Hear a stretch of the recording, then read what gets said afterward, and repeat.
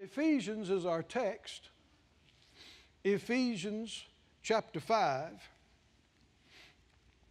and verse 18. It says, Be not drunk with wine. So, how many would agree that getting drunk and being drunk is, is a bad idea? Hmm? Would you agree with that? Bible says so.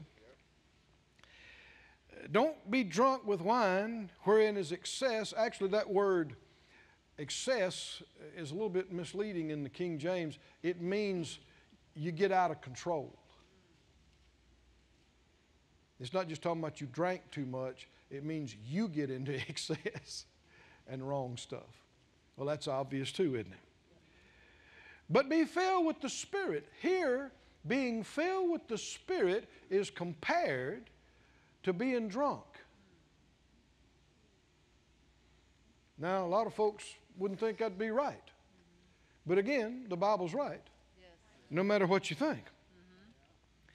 And it's the very next verse that, the sentence doesn't end, it just pauses. Be filled with the Spirit speaking. Amen. Say that out loud. Be filled, Be filled with the Spirit, with the Spirit speaking you can't separate the two. You can't separate the being filled from the speaking, either initially or throughout life. Be filled speaking. Speaking to yourselves in psalms and hymns and spiritual songs. Now, this is not talking about songs out of a hymnal. Notice the word spiritual. These are spirit inspired songs, songs and psalms and hymns by inspiration at the moment, at the time. Speaking to yourselves in psalms and hymns and spiritual songs, singing and making melody in your heart to the Lord, giving thanks always for all things to God and the Father in the name of the Lord Jesus Christ. The Amplified says it like this verse 18, Amplified. Do not get drunk with wine, for that is debauchery. Well, let's just back up. If Jesus is your Lord and the Word of God is your standard, do you need any other scriptures not to be getting drunk with wine? No. no. This settle it for you? Yes. Okay.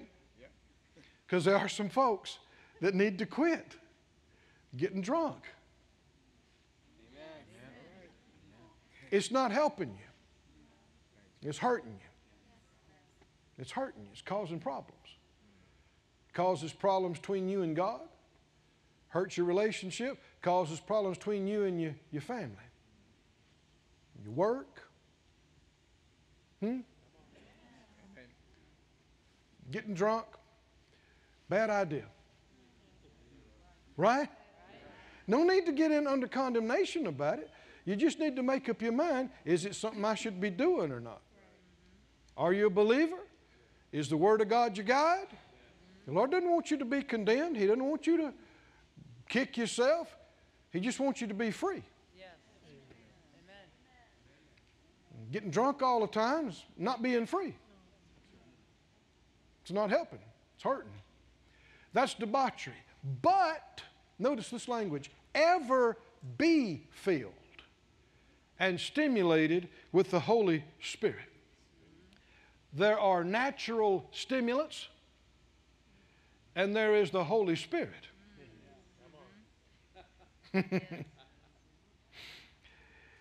he said, uh, in the complete Jewish Bible, it says it like this Don't get drunk with wine, this is the CJB, because it makes you lose control. You see why they translated it that way. We mentioned that earlier.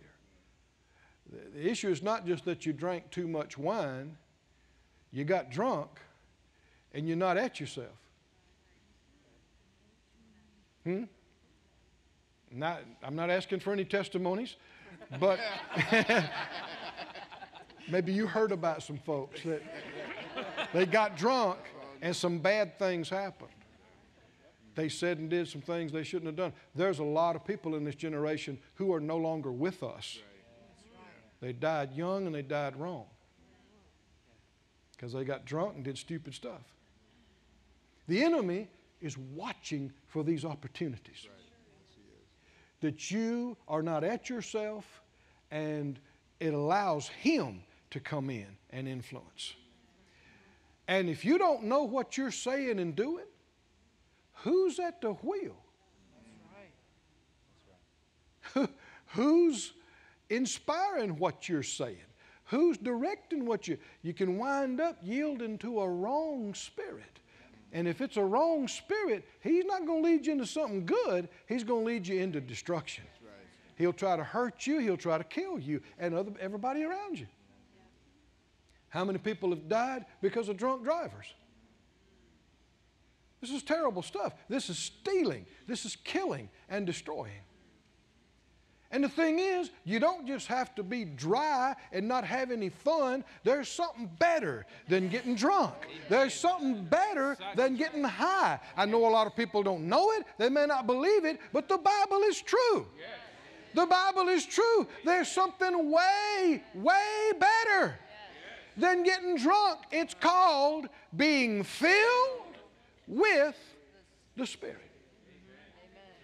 And that's not supposed to be something that happens one time and, and then not again. Ever be filled. Keep on being filled with the Spirit. Everybody say it. Keep on. Keep on. Keep on being filled. That means you get, and you see this in the book of Acts. Same people that got filled in Acts 4, uh, Acts 2, got filled again in Acts 4. There is a being filled and then being, being filled again, and being filled again, and being filled again. Now, go with me, if you would, to the book of Mark. And I'm going to do what I believe the Lord directed us to do. We've talked about this, we've launched into it, but we're going to back up to some basics about this. How do you get filled with the Spirit? How about that? Am I like that? Yes. How to be filled with the Spirit. This is being Spirit filled 101. All right. All right.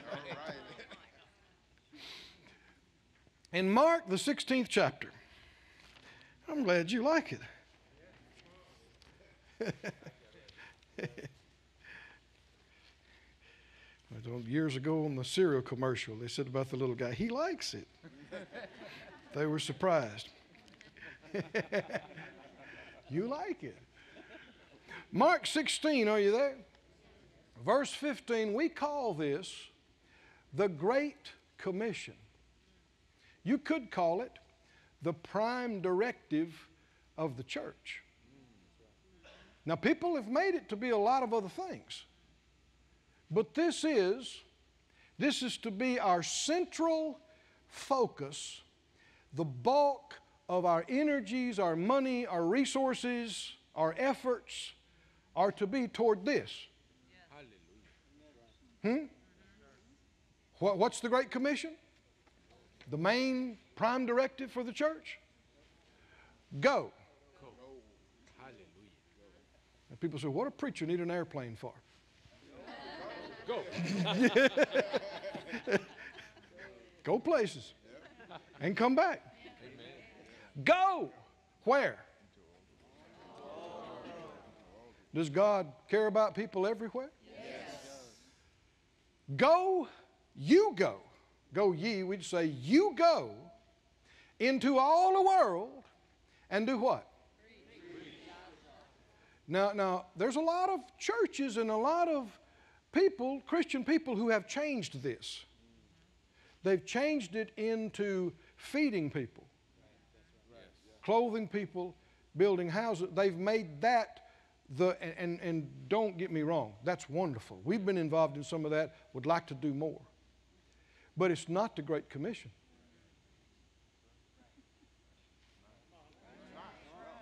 It's not.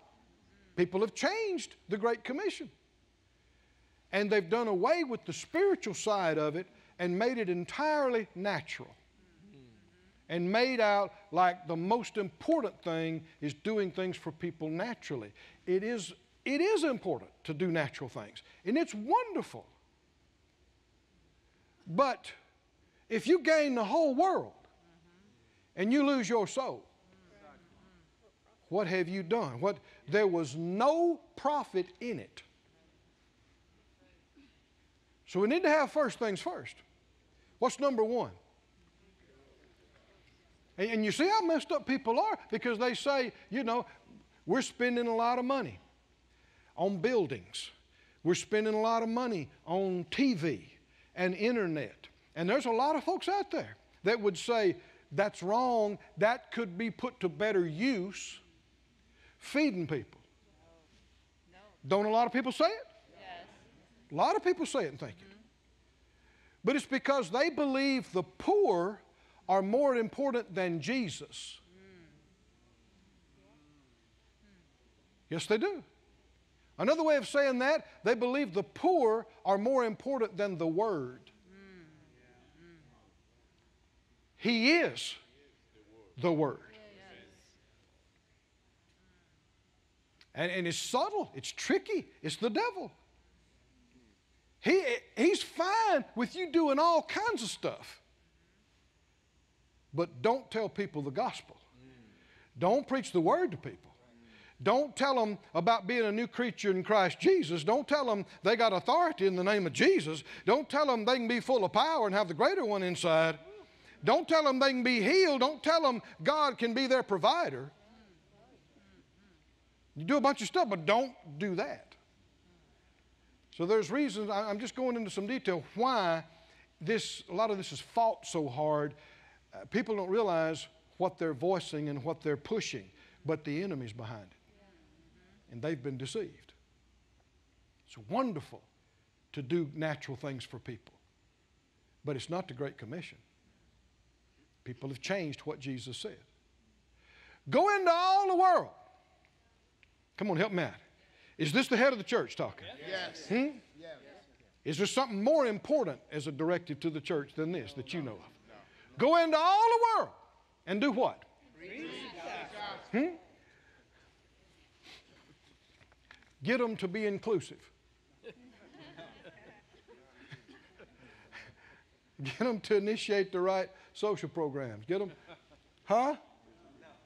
Hmm? Get them to em- embrace all religions. And just, let's just love everybody and, and be at peace. It sounds good, but it's a lie. And it ain't never happening. It's never happening. Well, we're all brothers. No, we're not. That's a lie.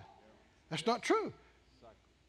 There are two spiritual families in the earth, not one, two. Jesus said to some of the most religious people of his day, You are of your father, the devil. He told preachers that. And they killed him too. Proved. Is that right? They did what their father bid them do, and he's a murderer. He wasn't just trying to hurt their feelings, it's just how it was. Go into all the world, proclaim the good news. Yes. What is the good news? Oh, Jesus took your place. I said, He took your place. He became sin with your sin. Amen. He took your infirmities, bore your sicknesses, carried your pains. Chastisement of your peace was on him. Became poor so you could be rich. Yes. Rose from the dead. Yes. Overcame all without sin. Overcame all of it. Went to the right hand of the Father where he ever lives to make intercession for you and I and is preparing a place for you. Amen. Right? Is this good news or is this good news? And will soon come back and receive you and me to himself, and so will we ever be with the Lord in his kingdom, immortal, incorruptible, forever and ever in a kingdom that has no end. Somebody say, Good news, good news, good news. That is the biggest need of the entire planet. To hear this, to know this, to believe this, to receive this, to feed on it day and night, walk in it. That's the biggest need of all the world. Not a perfect government, not a perfect economy. That's, you get that right, the other stuff will come behind. You don't get that right, no matter what you do, the other stuff will never be right. You make some temporary things, and the Lord will do some things to help us, just to sustain us, but you're not going to get everything right down here until the King of Kings and the Lord of Lords establishes his kingdom. Amen. Hallelujah. Hallelujah. And all these kingdoms become his. And he needs some people to help him take care of that, and I'm looking at some of them. Amen. Amen. That are actually in training. That's what, that's what earth is. Earth is faith school. It is. To train you. He gave you the, the, the armor uh, of the Spirit and left some demons and curse to practice on. Come on, think about it. If you had the breastplate of righteousness, and helmet of salvation, loins girt, shield of faith, sword of the Spirit. What if you're all dressed up and nowhere to go? no, nothing to deal with? That wouldn't be any good. How, you going to develop? He had to leave some stuff. You can't be an overcomer without coming over. Something. There's got to be something to come over. That's why, if you think right, you count it all joy. When you encounter something, you say, hey, it's another opportunity to exercise what God has given us and to overcome and demonstrate the goodness of God in the earth and even get some reward too. Hallelujah. Whew. What's the Great Commission?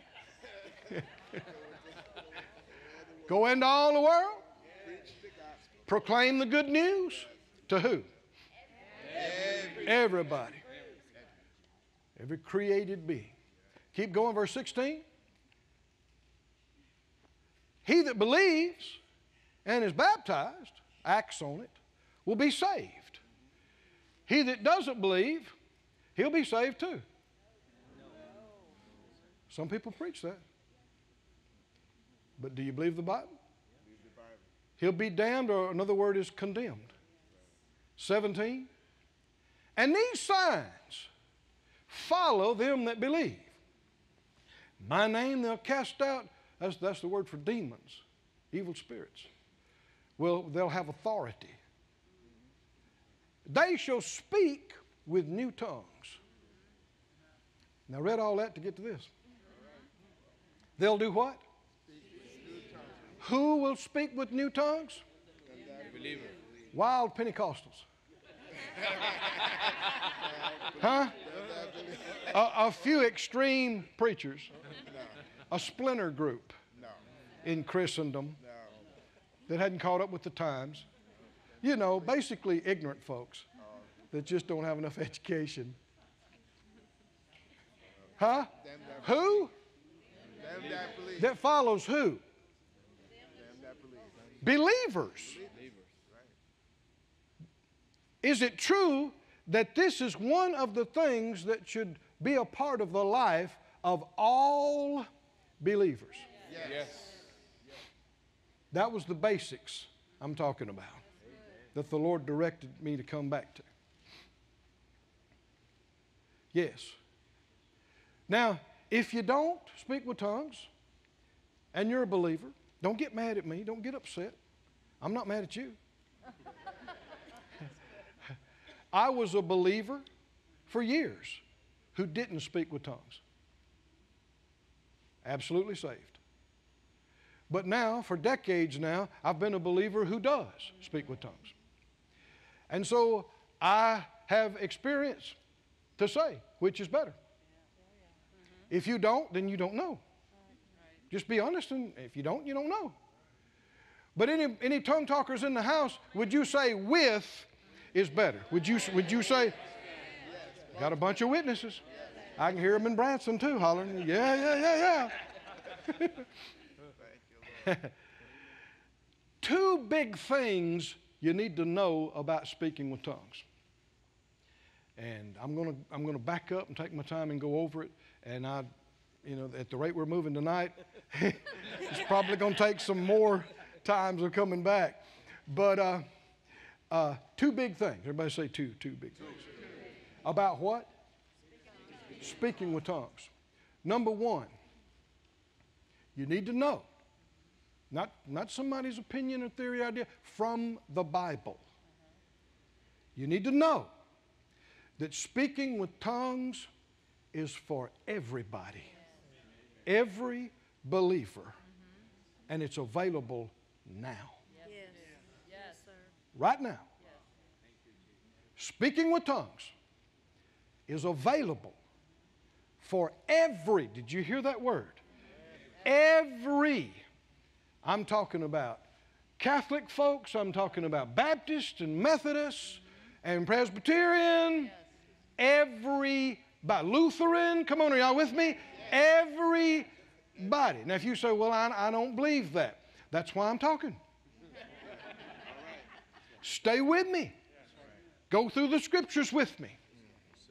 Now you got to make up your mind. Are you going to believe just what you want to believe and ignore the Bible? Are you going to believe what other men told you?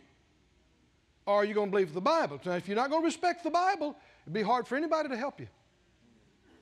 But if you will submit to the scriptures, you'll come to the place where you see what I'm talking about. How can you be so sure? Well, it's either true or it's not, right? And it is.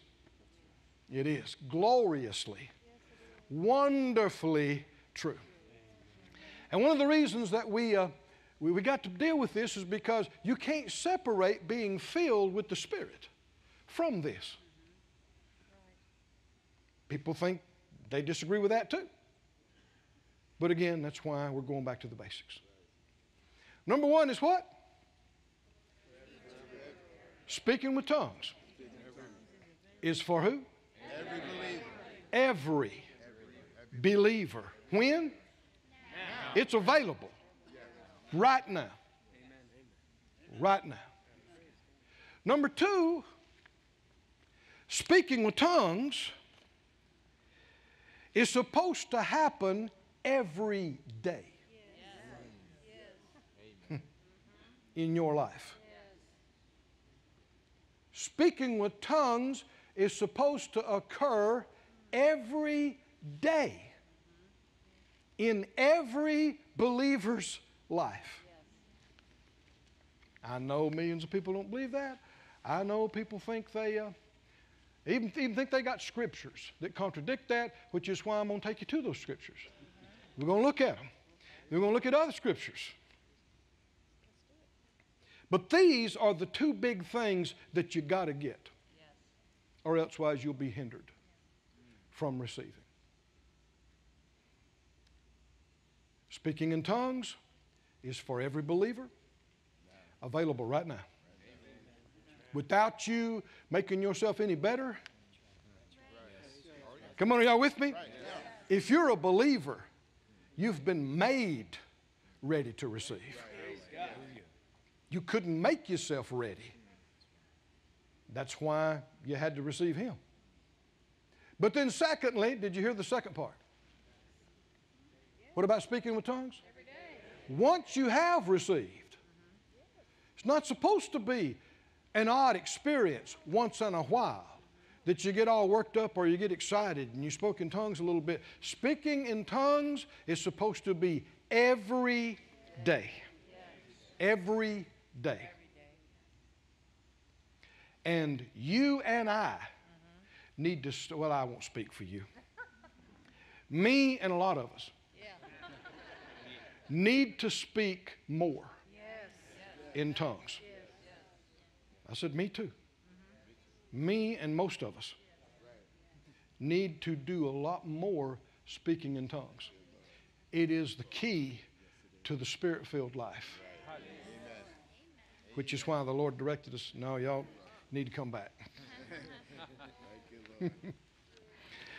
Let me read something that my father in the faith, Kenneth Hagin, who's in heaven now, I'm looking forward to seeing him again. He, we had such great times together. I can't put a value on what we got through his ministry. But I want to give you two things that he said about speaking with tongues. He said, speaking with tongues is an initial sign or evidence of the Holy Spirit's indwelling. Initial would be the beginning. Or the next phrase, he said, it is the beginning of it all. This is the part we need to focus on. It is what? Speaking with tongues, it's the beginning of it all, of something else. I've found in my own life, he said, that the more I pray and worship God in tongues, the more manifestation of the other gifts of the Spirit I have. The less I talk in tongues, the less manifestations I have. Speaking with tongues, he said, is the door into the rest of the spiritual gifts. If you don't receive speaking with tongues, then you're not going to make progress with prophecy, our word of knowledge, our word of wisdom, our gifts of healings, working of miracles. You'll relegate all that to some natural thing and miss out on the whole thing. Yes. And you got to watch about some modern so called translations. 1 Corinthians 12, 1 Corinthians 14, they mess it up. They interpret it in the light of their lack of experience. And a lot of these so called modern translations are actually not translations. They are not word for word translations of the text, they are paraphrases. They are people putting into words what they think it meant. I have a strong aversion to that. You should too. Don't tell me what you thought he meant. That's right. That's right. I believe every word of God, the Spirit of God inspired, is important. It's important that it was said just the way that it was said. And a lot of it you're not going to understand, and you don't need to try to figure it out for me. Don't tell me what you think it means. Tell me what it said. Yes. And that's it. Why am, I, why am I saying this? Watch out about some of these translations. Bunch of modern translations. And it may be pretty good on one part, and then another part, it's not, it's bad. If you got a question about something, look up the words. See what they really meant. And, and it doesn't hurt you to, to have a good transliteration. You know, you'll see me a lot of times quoting Young's literal translation. Mm-hmm. It doesn't read easy, it reads backwards to us. And the, the flow is not nice, but it's accurate. Don't you like accuracy? Yes. Don't tell me what you think he meant. I got the Spirit inside me. He'll tell me what he meant, right? But the reason I say it is because a lot of modern translations, they just completely get it wrong when it comes to speaking with tongues. They have said a bunch of stuff in there, they've changed it around because they don't speak in tongues. And so they try to make it into something else. But I think it's obvious, if you'll be honest at all, the believers in the beginning days of the church spoke in tongues. Oh, Did they or not? Almost everybody, even people that don't believe it's for today, at least they'll say, well, yeah, they must have. it's hard to get away from that. So if that's true, are we saying it changed? Who changed? What changed? When did it change? The Bible will never receive a revision. Version 2.0. If somebody comes out with one, run. Get away quick. Paul said, though, though we, though myself, are an angel from heaven, come and preach something different gospel than what I preach to you, let him be accursed. Didn't he say that? You read it recently, didn't you?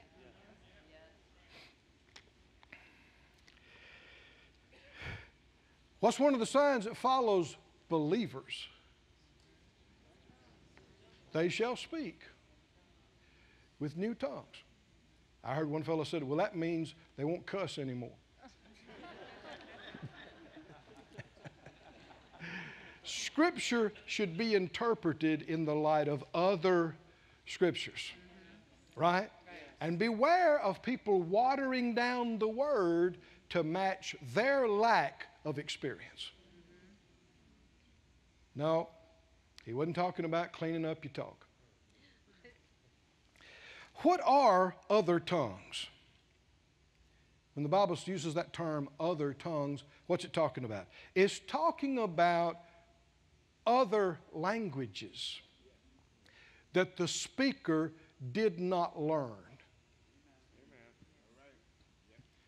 You, you hear the term unknown tongue, but really, usually when you see the text, that word's not in there. It's in, it's in italics, means it was added by the translator. Technically, it's not unknown.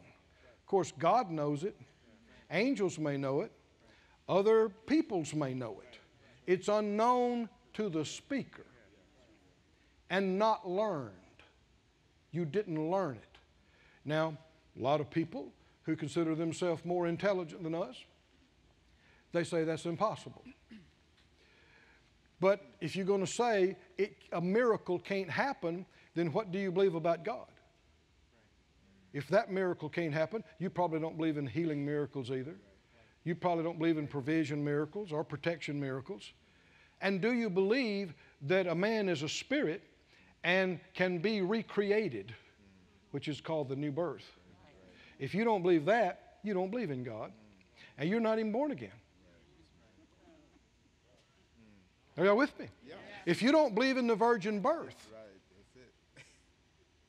that a maid named Mary, a virgin, conceived without the agency of a human father, conceived a child, bore it, and gave birth to a child who had no human father. If you don't believe that, you are lost. You are not saved. You're not a Christian. And if you don't believe that he, when Jesus lived as a man and went to the cross and died and was raised from the dead, if you don't believe that, if you, well, you know, I, I believe in the principles. I believe in the, you're lost. Period. People say, ah, you're just narrow minded and saved. I got my beliefs. The Bible said, Jesus said, if you don't believe, I am He. You will die in your sins. I'm quoting him verbatim. We just got through reading. Preach the good news. The good news is that he was born of a virgin. He did live. He went to the cross. He bore your sins, and he was raised from the dead. Hallelujah. And he's coming again. If you don't believe that, what did we just get through reading? You will be condemned. Is that what it said? Yes. Now, like that, that's not politically nice and correct. And folks don't like that. And it's not included. Well, what about all these other religions? You either believe what he said or you believe what men say. You have to make up your mind. There is truth. There is reality. They are not all the same. We're not all children of the same God, worshiping the same God under different names. These are lies. It's just not true. I, I hope a lot of people are okay. I hope a lot of people make it in that you might not think would make it in. God is merciful. I know that. He's merciful and He's perfect and just. But I would be dishonest and misrepresenting God if I didn't quote what He said. If I tried to change it to make people feel better about their situation. Preach what? The good news about what He did. Can you say, I'll think about it? Or, where, where are you? Mark 16. Go with me to the book of Acts.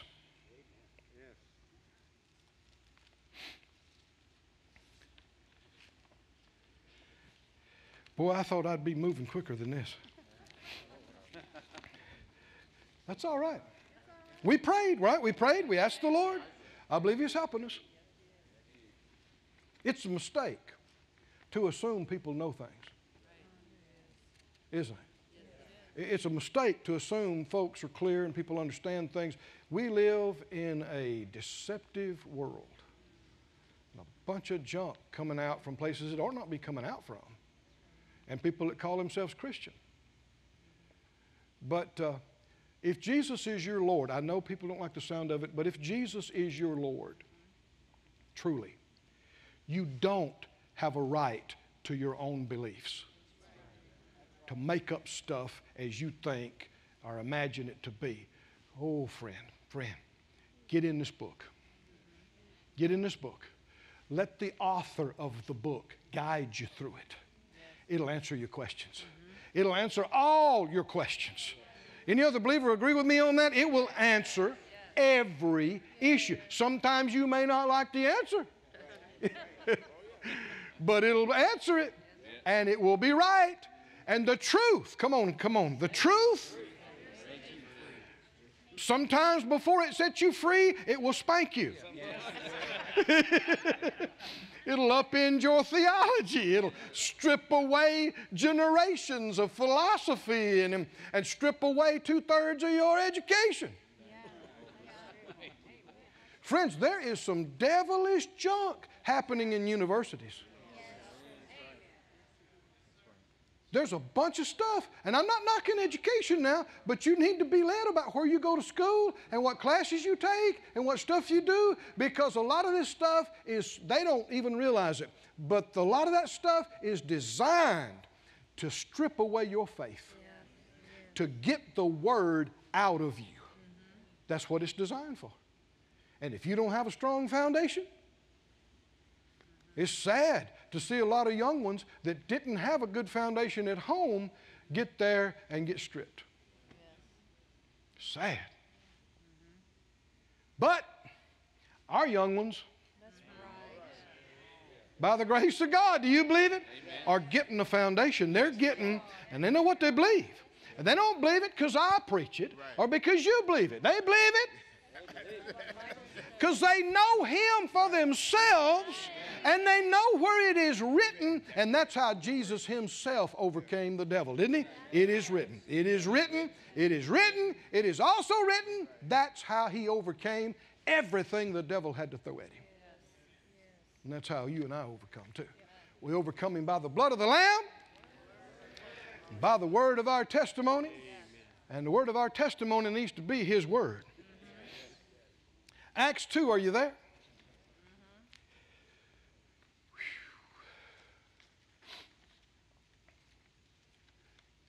The book of Acts is a wonderful book.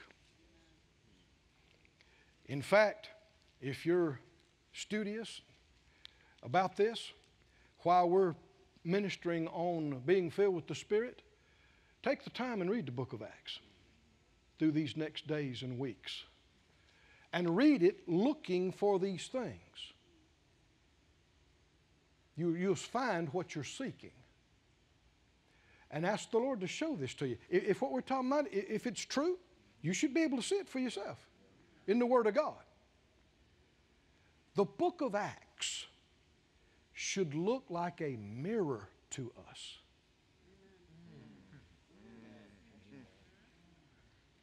It should be like looking in a mirror. What do you mean?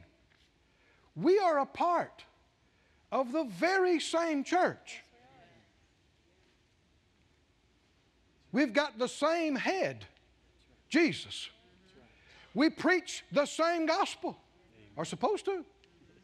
Is that right? We've got the same Holy Spirit. Do we have the same Holy Spirit that you're reading about in this book? Got the same Great Commission, same directive. Reading the book of Acts should be like looking in a mirror. We are to read about what happened here, what happened going, and go, yeah, glory to God, that happened last week at our place. That's right. Now, I know many don't think so, but it's the truth. The book of Acts is actually still being written. It is. We are in the book of Acts. We are a part of the book of Acts, chapter 300,000 or whatever it is. But the church still exists. The Holy Spirit is still working in the church. I believe it's misnamed. It's called the Acts of the Apostles. But that's not what God said. Men gave that title to these writings. And it's not, that, that wouldn't even be accurate. If you want to call it Acts of Apostles, there were also Acts of Prophets, Acts of Evangelists. Is that right? Acts of laity. Uh-uh. You know what it is? It's the acts of the Holy Spirit in the church. Hallelujah. Hallelujah. If you want to call it that, it's His actions. It's His. Why? How did it start? How did this thing kick off? Jesus has been raised from the dead. Hallelujah. And He tells them, He's given them the Great Commission go into all the world and preach the gospel. So what do we do? We need to go. He said, No, before you do that, wait. Got something coming that you got to have before you launch to do this. Tarry ye in the city of Jerusalem until you be endued with power from on high. Hallelujah. Somebody well, they're waiting on the Holy Ghost. Yes and no. They're waiting on the day of Pentecost. Because after the day of Pentecost, you never see anybody waiting on the Holy Spirit again to receive Him. The reason I say it is because some people teach tarrying to receive. And they quote that verse. Well, if you're going to quote that verse, quote the rest of it. Tarry in Jerusalem. huh? no, they weren't just, they were waiting for the promise to be fulfilled. But it was, it coincided with the prophecy of the day, the day of Pentecost. And when that day came, are you there next to? Let's read about it. When the day came, my, this is bigger than I was, I was thinking. You gonna stay with me? Help me, help me through this. I don't know how long this is gonna take. At this rate, would it be worth our time? Would it be worth us? I, I believe it is. I believe it is. Acts two. Acts two. When the day of Pentecost was fully come. This is very important. It didn't say when they all got right with God. Hmm? when they all got everything worked out in their life. When the Holy Spirit decided He was ready to come. No, no. When the day of Pentecost was fully come, they were all doing what He said, waiting. There in Jerusalem, all with one accord in one place. And suddenly, Holy Spirit, the Holy Spirit moves like this. Suddenly. One thing's happening, and then all at once. He did something. Suddenly, there came a sound from heaven as of a rushing mighty wind, and it filled all the house where they were sitting. Keep going. And there appeared unto them cloven what? What? Tongues like as of fire. Fire tongues. fire tongues. Now, both uh, water is a type of the Holy Spirit, wind is a type of the Holy Spirit, and fire is a type of the Holy Spirit too. Didn't say he is fire any more than he is a dove. But he's not confined to one shape or one form. This is a bit challenging for our mind to get a hold of. But he's not, he's not restricted or confined to one form or shape. This thing kicked off with tongues.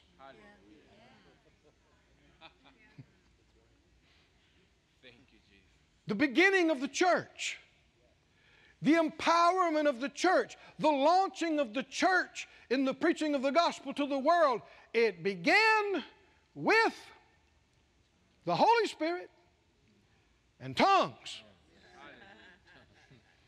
And people despise it, people mock it, but they need to watch who they're mocking, who they're making fun of. It's preached against, it's taught against, it's ridiculed. But you know, we're reading in Galatians, and Paul talked about the people that were off were doing it because they so they wouldn't get persecuted. Did you notice that? So that they wouldn't get persecuted. The, the, the true preaching of the gospel is offensive to the world. And the real things of God are offensive to the ungodly. Offensive. They detest it. And so, with many, speaking in tongues is offensive and even scary. But it's God. It was God. He doesn't change. It was the Holy Spirit. He doesn't change. It was the church, the New Testament church. This is the book of Acts we're talking about. And the church is not supposed to change. It has. Cloven tongues like as a fire, set upon each of them. And they were all filled with the Holy Spirit. And what happened immediately? and began to speak with other tongues as the Spirit gave them utterance. I want you to read that out loud with me. Branson, I want to hear you. Uh, everybody on online, said out loud. And, they were all filled, with the Holy Spirit. If you believe in being filled with the, if you believe in the Holy Spirit, why wouldn't you believe in being filled with the Holy Spirit? Same Bible that tells you about the Holy Spirit tells you about being filled. If you believe in being filled with the Spirit, why wouldn't you believe the rest of the verse? Why wouldn't you believe the rest of it? They were filled with the Holy Spirit, say it again, and began to speak. And began to speak. Doesn't that sound like our text? Be filled, ever be filled with the Spirit. What came next? Speaking, speaking, speaking, speaking. Yeah, but they, somebody said, yeah, but it said psalms and hymns and spiritual songs. It's the same Holy Spirit. It's the same flow. But if you don't yield to this, you won't get to the other. It's the doorway. It's the beginning. It's in the beginning of the, the book. It's in the, in the beginning of the history of the church because that's how it started. And that's how it continued. And that's how it is today. How many were? The ones that were holy enough. Why? The ones that were spiritual? No, they were what? A L L means everybody. They were all filled with the Holy Spirit. And who spoke in tongues? Same people that got filled, which was all. All got filled, all spoke. All began to speak with other tongues as the Spirit gave them utterance. Oh, every, every one of these words is full of revelation. Thank you, Lord, for helping me. They were all filled. I want us to, to keep reading. There were, and there were dwelling at Jerusalem Jews, devout men out of every nation under heaven. Now, when this was noised abroad, the multitude came together and were confounded because that every man heard them speak in his own language. So this thing was not done in a corner. And they were all amazed and they marveled. Here, the, I want you keep that word in mind. Amazed and marveled indicates what this is. Saying one to another, Behold, are not all these which speak Galileans? And how hear we every man in our own tongue wherein we were born? Parthian, so there was the Parthian language, Mede language, Elamite language, Mesopotamia languages, uh, Judean, Cappadocian language, Pontus, Asia languages, Phrygia, Pamphylia, Egyptian language, Libya, Cyrene, Rome, Jews, proselytes, that's not all, Cretes, Arabians. Hear this term divers kinds of tongues. Divers means different. Many different kinds of tongues. And that's the, that's the language the Bible uses in talking about the gifts of the Spirit divers kinds of tongues. Didn't just say tongues, it said different kinds of tongues. Say it out loud different kinds. Different kinds. So it's not just tongues. What is it? There's more than one kind of tongue. In fact, there are several different kinds of tongues. Knowing this will answer a lot of the questions that people are confused about. We hear them speak in our tongues the wonderful works of God. And they were all amazed and they were in doubt. They said, What does this mean? And others said, These men are full of new wine. Does that sound familiar? Why did they think they were full of new wine? Because there are similarities between being drunk or high and being filled with the Spirit.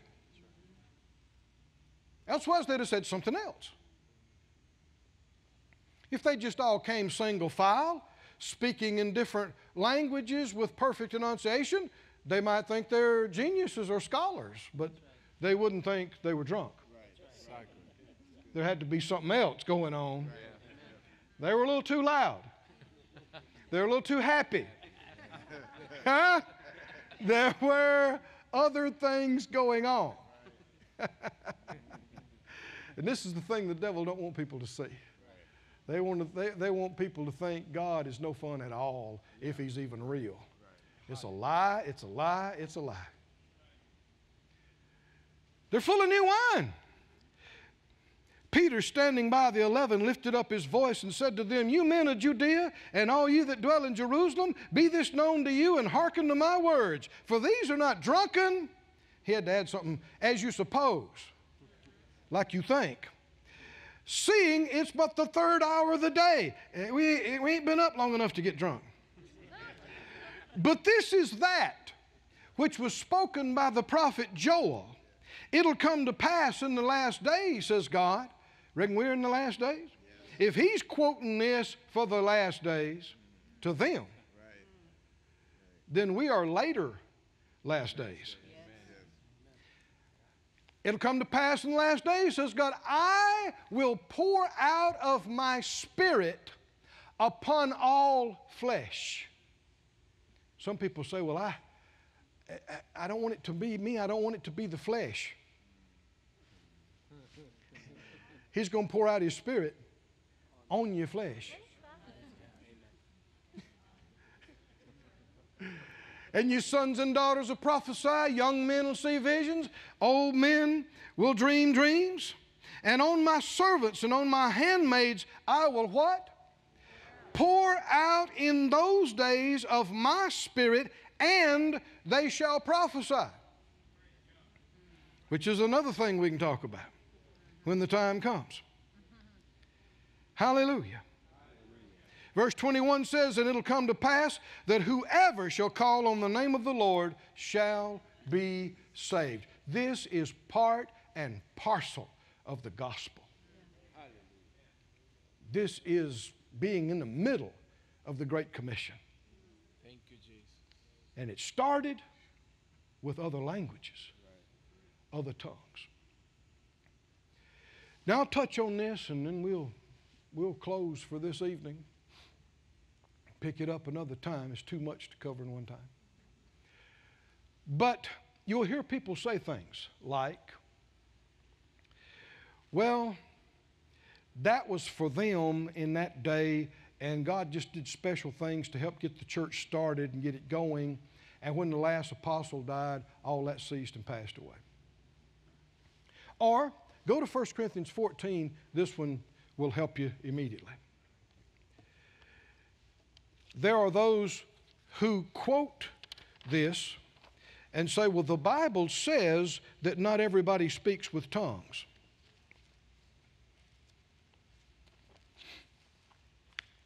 First Corinthians 14. Well, actually, go, go to the 12th chapter. Go to the 12th chapter.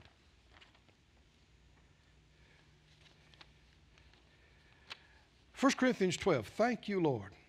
He's helping us. Verse 28, are you there? 1 Corinthians 12, 28. Now, this is one of the chapters that a lot of modern translations mess up. This 12th chapter. Be on the watch for it. God has set some in the church first apostles, secondarily prophets, thirdly teachers, after that miracles, then gifts of healings, helps, governments, and what? Diversities of tongues. Didn't you say tongues? What did it say? Because uh, back earlier in the same chapter is where he mentioned divers kinds of tongues and interpretation of tongues as two of the nine manifestations of the Holy Spirit. Keep going. Are all apostles? What's the answer to that? No. No, everybody's not an apostle. Are all prophets? No. No, everybody's obviously not a prophet. Are all teachers? No. No, now let's just stop here. Anybody could teach somebody else what they know, but that doesn't mean you're called and anointed to teach the Word of God. Are all workers of miracles? What's the implied answer here? No.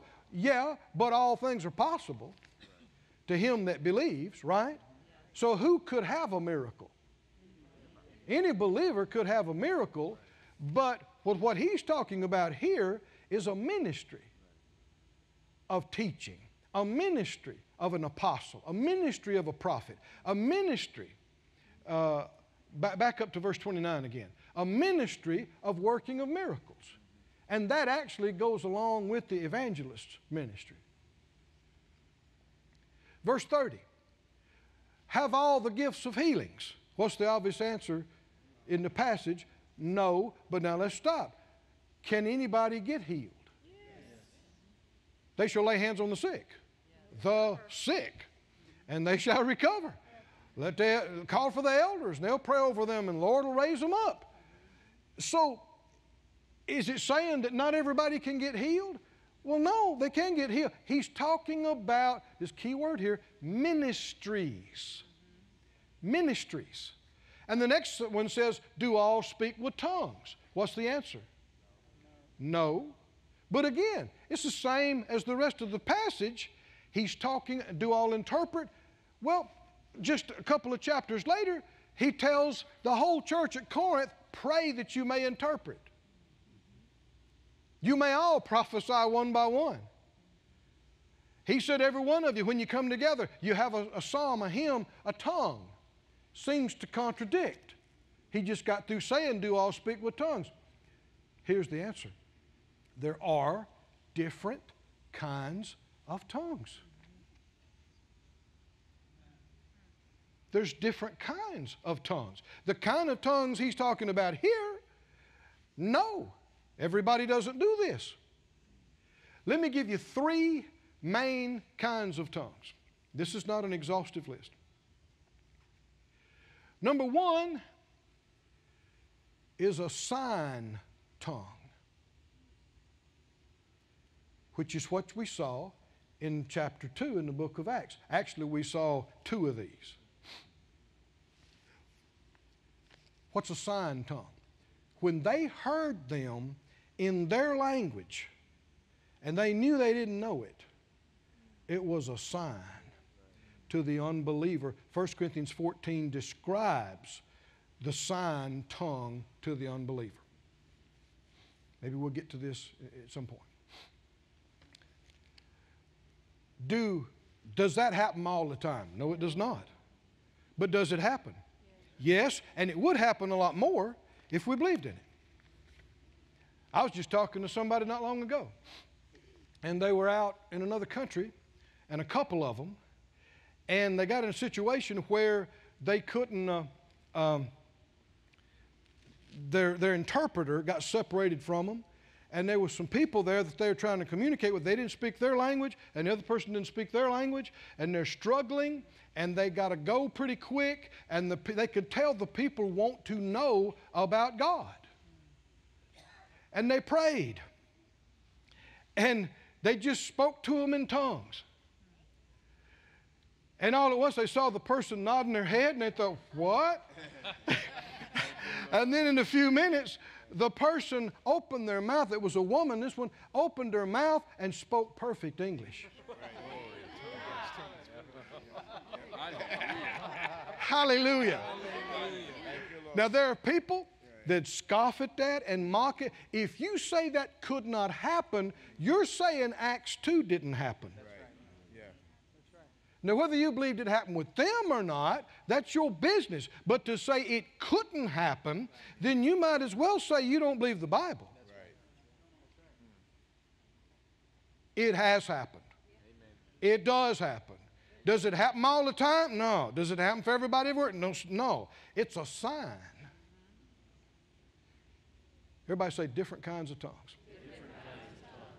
Sign tongue is one kind of tongues. Another one is ministry tongues or public tongues. You'll hear people, some, some people say, I heard them speak in tongues and they didn't interpret. So that's wrong. Because the Bible says if you pray and you don't interpret, you're supposed to just keep silent. That's people who don't speak in tongues and don't understand any of it. Everybody say different kinds. Different kinds different kinds of tongues. There is a ministry tongue and a ministry of tongues and interpretation, which the Spirit of God through Paul said is the equivalent of prophecy. And do all have that? That's what he said in chapter 12, verse 28. Do all speak with tongues? Do all interpret? Don't pull it out from the rest of it. Keep it with the other apostles, prophets, workers of miracles. These are ministries. Do all have the ministry of speaking in tongues and interpreting publicly? No, they don't. No, they don't. But some do. And would have more of it if we believed in it, talked about it, yielded to it. It's a wonderful thing. We, Phyllis and I have ministered that way. We've been ministered to this way. It's, it's a great thing. Thirdly, there is a personal tongue. And that's what I'm talking about when I say every believer can and should speak with tongues, and every believer can and should speak in tongues every day. I'm not talking about sign tongues. I'm not talking about ministry tongues. I'm talking about what the Bible says building yourself up on your most holy faith, praying in the Holy Spirit that when I speak in an unknown tongue, I edify myself. See, 1 Corinthians 14 went into detail about edifying the congregation versus edifying yourself. And he had to correct them because, see, they came in on sign tongues. So they, they were thinking we could just speak in tongues like on the day of Pentecost and everybody understand it. And so, man, you had a, a, a, conglomeration of tongues going in all direction, and the Spirit of God through Paul had to correct them and say, no, no, no. There is a tongue that you're edifying yourself. But that's not for the public, and you're speaking it out, and there's no interpretation, and people don't understand it. I know I'm hitting this just in spots, but are you with me? Why a lot of folk who don't speak in tongues, they use scriptures they don't understand to try to say it's not for everybody, but it's because they just are ignorant of the subject, which is, and I'm, I'm not trying to uh, slander somebody, that's how 1 Corinthians 12 starts out. It says, I would not have you ignorant. Is that right? Of spiritual things. And even back then, in the beginning days of the church, it was, there was confusion about tongues. And the reason being is because the devil's scared of it. He wants it out. And sadly, he's been successful with a big part of the church getting it out. No, go to 1 Corinthians 14. We'll close with this, I think. And I feel like I just got it introduced to you. How many think it was the Lord that we back up and go to basics about this? We need it. If you've known it for years, you need to hear it again. But there's a lot of folk never heard it start with. 1 Corinthians 14. Thanks be to God. Hallelujah. I am glad to be a tongue talker. Oh, yeah. Thank you, Lord. 1 Corinthians 14, verse 1 follow after love and desire spirit. The, the, the King James says gifts, but that's not there. Spiritual things, the things of the Spirit, but rather that you may prophesy. Now, here's another one people mess up on. They say, well, see, uh, prophecy is preaching. And the, and, and the scripture said that he prophesies is greater than tongues, and it also said that tongues would cease. That's pulling pieces out of verses and misinterpreting them and misapplying them. Back, back up to chapter 13. Back up to chapter 13. It said, uh, verse 8 love never fails. Whether there be prophecies, they'll fail. Whether there be tongues, they'll cease. People grab that and say, See there? See there? See there? Did it say when? Well, it's obvious it's already. Is it? Whether there'll be knowledge, it shall vanish away. If you're going to be consistent in your translation,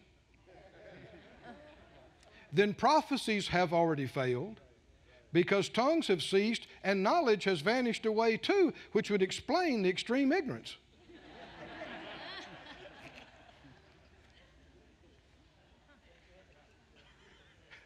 All the prophecies have not been fulfilled. Right? Knowledge has not vanished away. Then why pull one out of the middle? there will come a time when different languages will be unnecessary. We will know as we are known. Won't that be wonderful? What happened at the Tower of Babel with the separation of the languages will be undone. And we'll be able to understand everybody. That's going to be amazing. And talk to everybody and communicate on an unrestricted level. But that's not yet. Tongues have not ceased. Not yet. Come on down. He that, chapter 14, verse 2, he that speaks in a tongue unknown is added by the translators. He that speaks in a tongue speaks not unto men, but unto God. Now, if you read the rest of it, you'll see that there are other times when there is speaking to men, but it's with interpretation or prophecy instead. Somebody say different kinds, different kinds, different kinds of tongues. And the three that I've given you is not exhaustive list. There's a whole lot about tongues we just don't know. It's big. He that speaks in a tongue speaks not unto men but unto God, for no man understands him. Now, see, that would seem contradictory because we read in Acts 2 that they all understood in their own language. And that's why people look at it and say, see, there's just inconsistencies all through this thing. No, you're just real ignorant. There's just a lot you don't know. There's nothing wrong with the Bible. It's perfect. And it's right. About everything. And if you don't think so, something wrong on your end. Show some humility. The fear of the Lord is the beginning of knowledge and understanding. If you don't show Him respect, you will remain in the dark in your supposed superior intelligence. But if you'll humble yourself before Him and say, Oh Lord, what I don't see, show me. What I don't, what I, I, this looks like it doesn't agree, but I know it does. Help me to see it. He will. I said, He will. You may have to grow some, may take a little time, but He will. There'll come a time. Uh, I exclaimed the other day. We were riding along in the truck, and I said, I see that.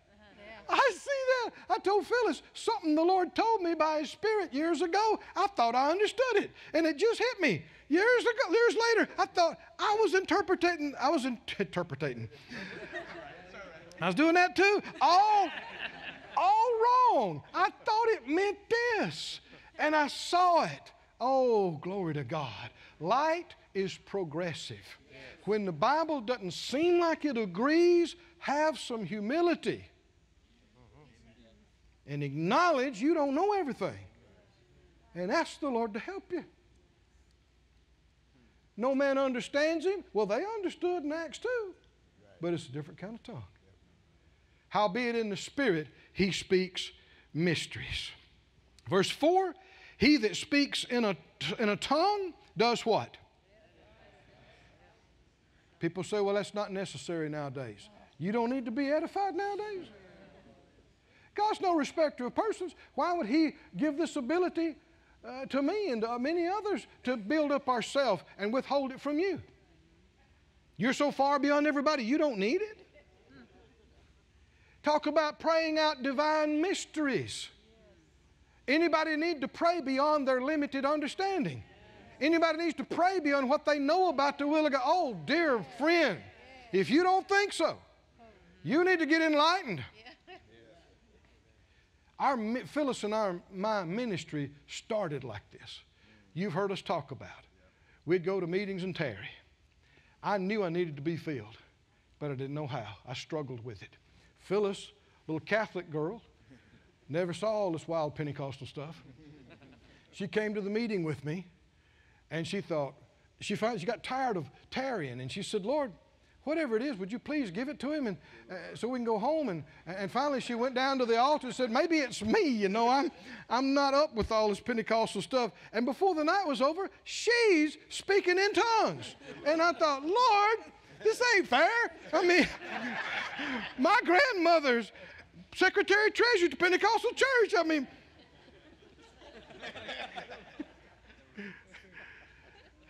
and, and God was dealing with us about our life in ministry. We didn't know there was a call. We didn't know we are supposed to be ministers at that point.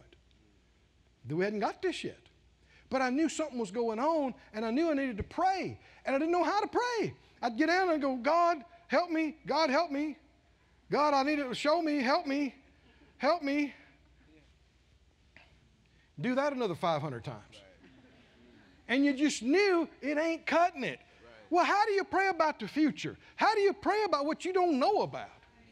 Oh, thank God there's a way. Thank God there's a way to pray out divine mysteries and edify and build yourself up on your most holy faith. It's called speaking with other tongues. At one point, I came by to Phyllis. We were in our little mobile home. I said, uh, You've been speaking with tongues still? She said, Yeah. I said, How about praying for us? About this, uh, what we're supposed to do. I didn't know how to yield yet, but I knew I needed to. And as soon as I did receive, I'm going to talk about that at some point. As soon as I did, I got to praying. Lord, help me to pray about our future. Help me to pray. I didn't know what, what was going on. I knew something was up. Had no idea I'd be looking at you nearly 40 years later. Branson and all these things. Had no idea about all that. But uh, God knew. And I began to pray in tongues, pray in tongues, pray in, Lord, help me to pray out what I need to pray. Say what I need to say, ask for what I need to say. It's a supernatural means of escaping the confines of your limited understanding and communing directly with God. Oh, hallelujah. No man understands him. That includes the devil and his bunch, too. You got a secret line with the Father. Hallelujah. Hallelujah. It's called speaking in tongues. I said it's called speaking in tongues. Speaking in tongues. Stand on your feet, everybody. If you'd say, Well, Brother Keith, I, I don't speak in tongues, well, let's fix that right now. Right now. I'm just going to lead everybody in a prayer.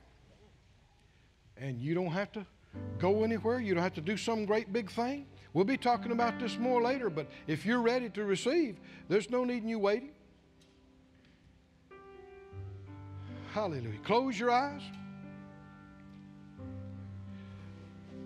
I'm going to pray for you when we get to a certain point. I'm going to say receive. And when I do, we start speaking in other tongues. And uh, if you will, you can speak right out in Jesus' name. If you don't think you're ready, that's okay. We, uh, we're planning on being back next week and the next week, and, and we'll get there. If you, if you don't think you're ready, that's all right. Just wait. But if you think you are, we're, we're ready right now. Said out loud, Father God, I believe in you. I believe in Jesus, your Son. I believe He went to the cross, paid the price. I believe you raised Him from the dead, and I confess Him as my Lord and Savior, and I receive all He has done in redemption for me. And I thank you for your saving spirit. But I also see I can be filled with that same spirit and speak in other tongues. And I ask you for this. In Jesus' name, and by faith I believe I receive, just like my salvation. And by faith, I speak. Oh, Osto moncale, efle mandanche. Lift up your voice. Nome de re, seve mancase conginge elevraim. Elevramanze non toncendo vile. Emon de sala covan me andece. Elevremande che sugge voiane. Anemba sova baneno judone che lo so parabesece. O fe lo sa dane mongale brema indicieta. Ele vraiment zengo non jandeo loktevo ma. Ile vraiment zonde maya non dia je dania non do gigi. Ele vraiment zengandi ong dong bien chani forman kong sandi bachi. Ele vraiment dia je deo do jo o de siske e je fije we do basi.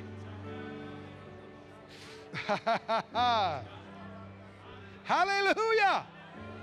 Hallelujah.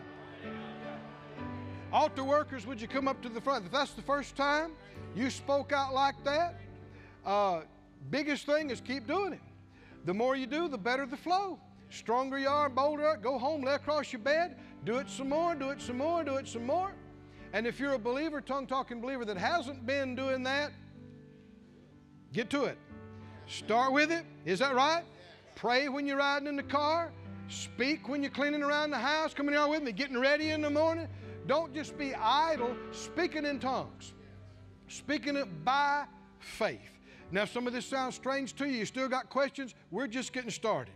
We're going to keep, we're going to go and cover many other scriptures and many other questions. So if you can, be back with us.